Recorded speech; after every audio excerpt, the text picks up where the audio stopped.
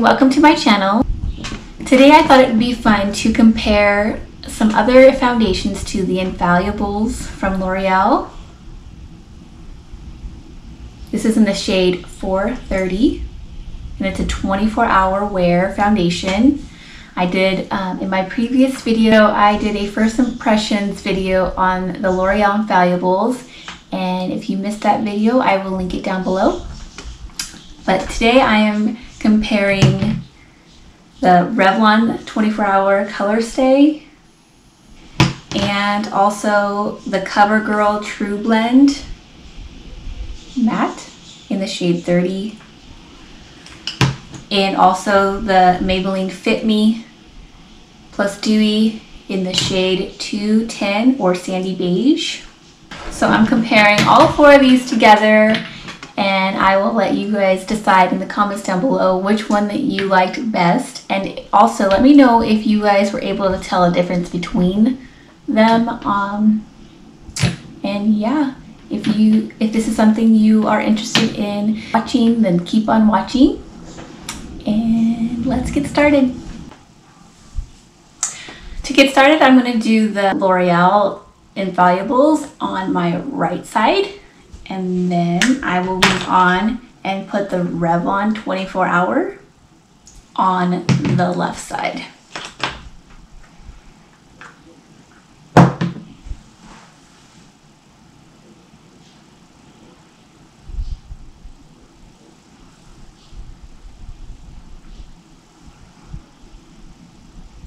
I forgot to mention in my previous video of my first impressions, this is really smooth. It goes on smooth and lightweight. It barely felt like I was wearing makeup. Like I obviously knew I was wearing it, but it's really, really lightweight.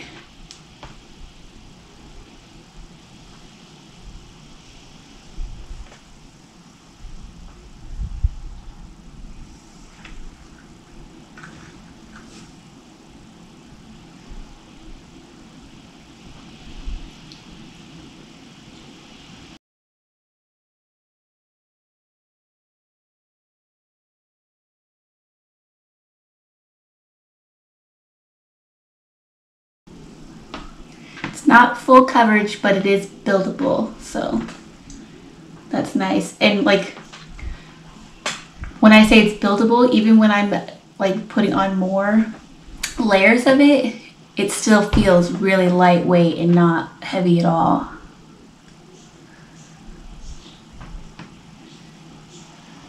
And it's really matte too.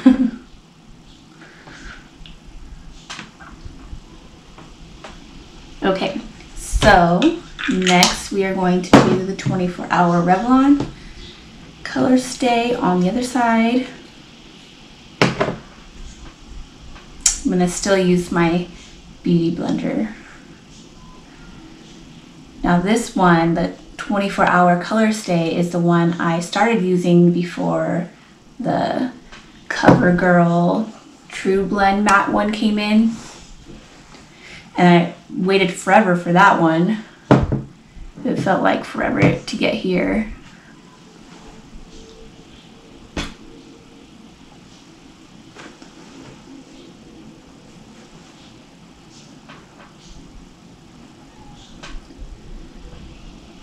And this one feels a little more wet.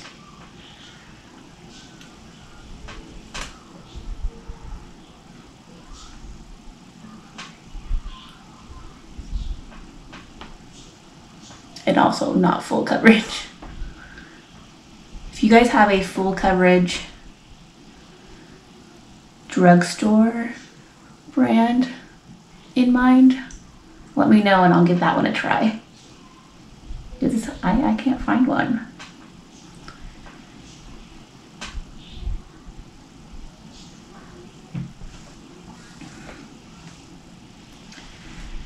I definitely like the squeeze bottle compared to the one that you have to like pour. I don't know about you guys, but it just seems easier to feel squirt. a little bit out.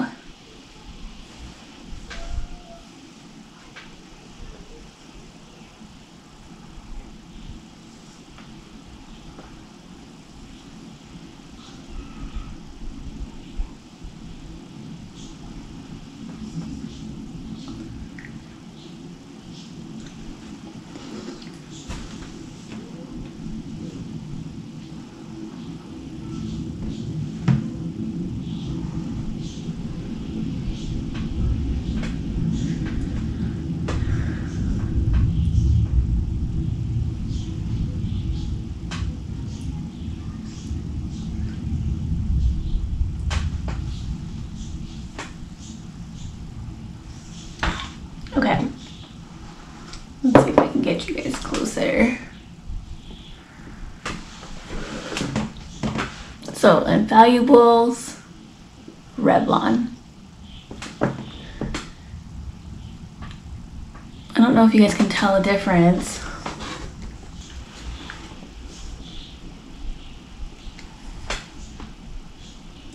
So, this side looks way smooth, like it just blended in my pores and on, on top of my skin a whole lot better. Whereas this side looks more dry and um, cakey. I don't know if you guys can see that. And I can tell I'm wearing makeup on this side. Like it feels heavier, it's kind of sticky. This side not that sticky. I mean, still because I just put it on, but this side seems more sticky and more heavy. The color is pretty close to matching, so it kind of looks like, from probably for you guys, it probably looks like I'm wearing the same foundation on both sides. Okay, I'm going to take this side off and then I'll go in with the CoverGirl True Blend. So I'll be right back. Okay, here I am with the CoverGirl True Blend. And going on my left.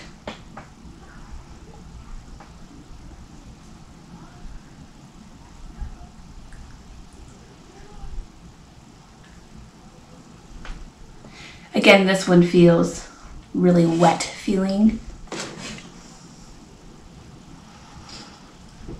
And this one is leaving, know if you can see that, but it's leaving specks. I don't know what that is. Leaving specks of something on my skin. I'll try to zoom in when I edit to see if you guys can see that. Also, there's a hurricane about 500 miles north of us, and so it's really windy. I'm sure you guys can hear the wind in the background noise.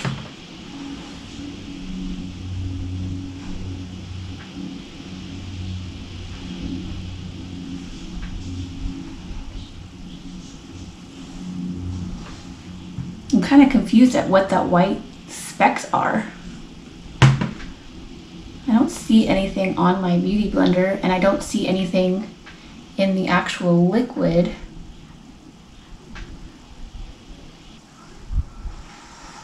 Hmm. Strange. Can you see that?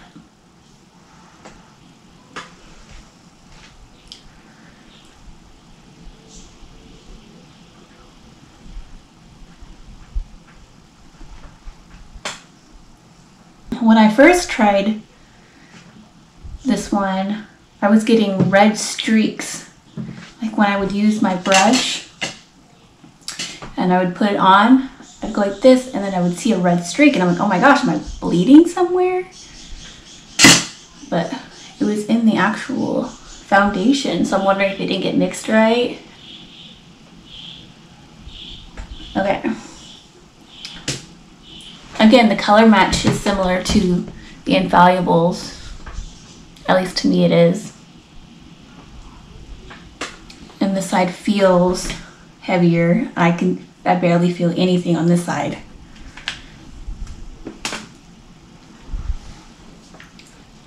This part of my nose.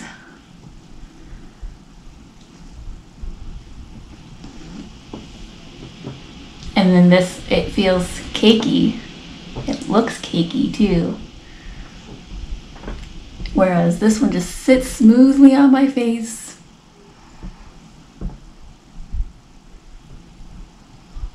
And then I have these specks of something. I don't know what that is.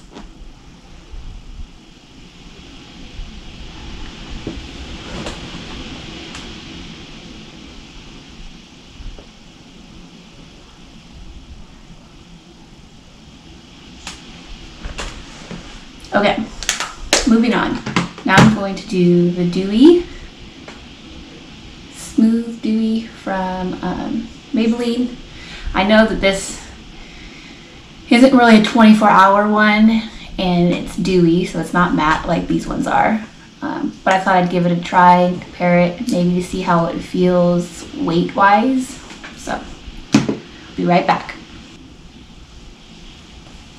Okay, I applied both of these off camera because I wanted to play a little game with you guys. I want you guys to decide which side is the L'Oreal Infallibles and what side is the Maybelline Dewy Smooth. So comment down below which side you think is which.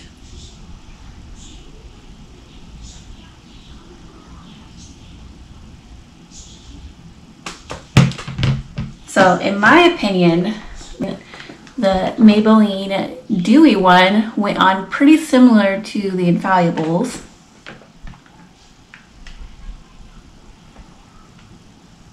And they both sit on my face pretty similar. Which is kind of weird because the L'Oreal Infallibles is kind of a matte color and the Maybelline Dewy is obviously obviously supposed to be more dewy and I can barely tell the difference.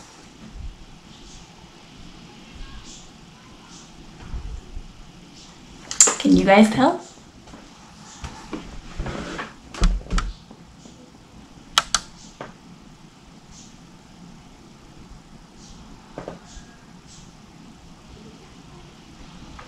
So this side is the Infallibles, and this side I switched up on you guys is the Dewy, Maybelline Dewy and Smooth.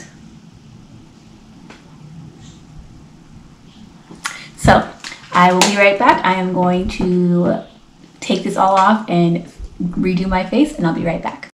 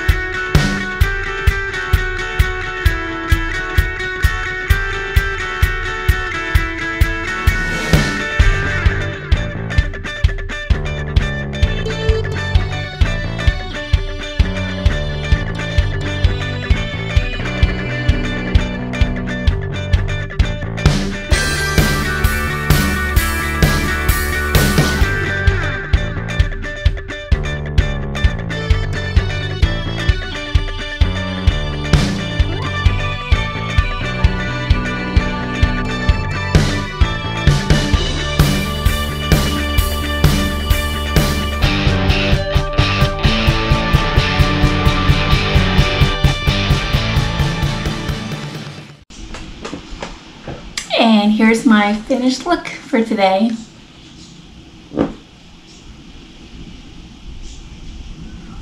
I hope you, you enjoyed this video. It was pretty fun. I thought it would be pretty interesting to compare um, all these foundations together. And let me know which one was your favorite in the comments down below. And I hope to do more videos like this. And yeah. So I hope you enjoyed this video and I hope that you give it a thumbs up let me know your thoughts in the comments down below and don't forget to subscribe, ring that bell notification so you are notified of my next video. And I will see you next time. Bye.